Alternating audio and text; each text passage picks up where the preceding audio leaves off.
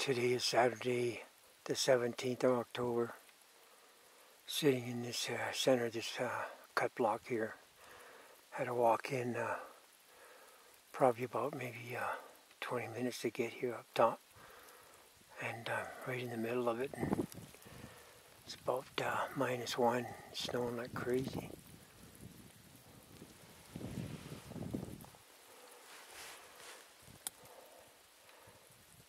Had a five point last night, bull elk come in, but it was only a five.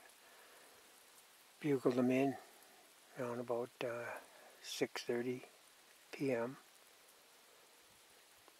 And um, a bigger bull come out. I bugled it in too, above the other one. But it was 7 o'clock at night, it was dark. I, I, I made out the frame, that's about it, but I couldn't see the points on it.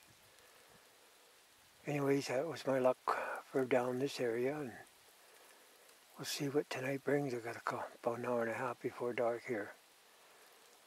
It's just after 5 p.m. Maybe a big whitetail buck will walk out. Who knows?